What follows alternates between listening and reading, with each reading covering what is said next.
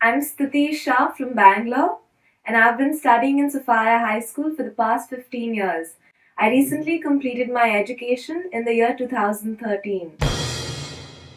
I topped the stream of humanities in the entire state of Karnataka in my 12th standard and it was a dream come true for me.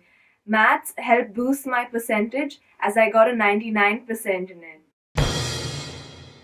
Earlier, when Sir David would give us assignments to submit next class or a test that was due next class, we'd all not be very happy about it. But he'd compel us to do so. He'd tell us that no, you have to do so because in the end, I'm sure you'll thank me for it. And I guess retrospectively, I do thank him for it because my 99% reflects his efforts and his coercion.